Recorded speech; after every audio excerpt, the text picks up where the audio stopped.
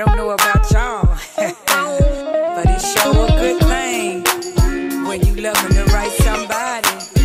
I'm talking about it feel real good, y'all. when you loving the right one. It's a good thing.